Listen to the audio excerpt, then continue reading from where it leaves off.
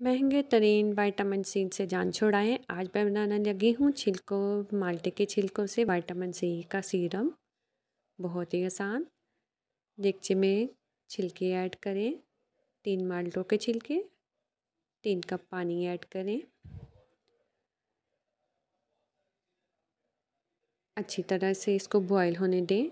Medium flame पे इसको हिलाते रहें।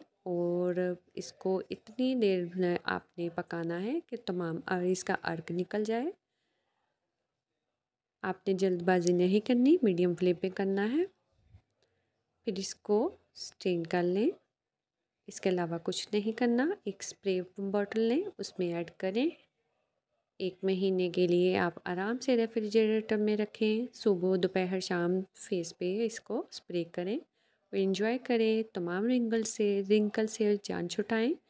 नई रेमेडी के साथ फिर हाजिर होंगी। अल्लाह हाफिज़।